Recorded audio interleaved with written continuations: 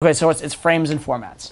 So I'm gonna say something from the right frame because I believe the frame, right? I believe I'm an attractive person.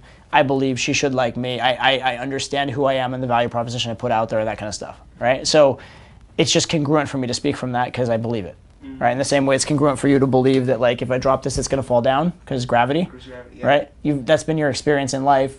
It's congruent for you to believe it. It's been my experience in life that, especially when I'm acting at my best, girls like me. Girls respond well to me, so why wouldn't I expect that? So that that that frame is there. So as long as I'm talking from a high value frame, whatever words I'm gonna say, it's gonna be hard for them not to be at least reasonably right because the frame is right. That's number one. Number two, I know the formats. I know how to pass a shit test. I know how to flirt. And so if I do a push pull that like barely makes any sense, it still is a push pull and it still works due to format.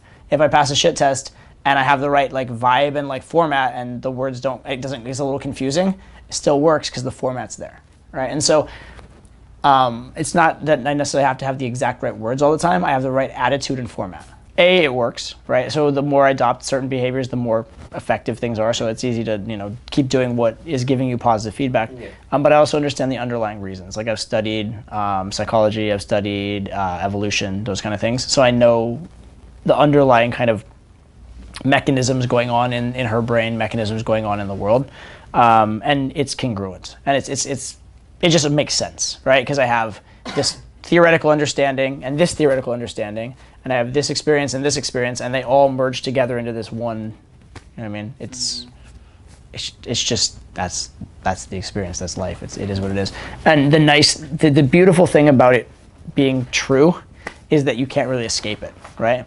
The more the more time you spend talking to girls, the more time you spend studying these areas, it just the facts and your experience just come into alignment because they are in alignment.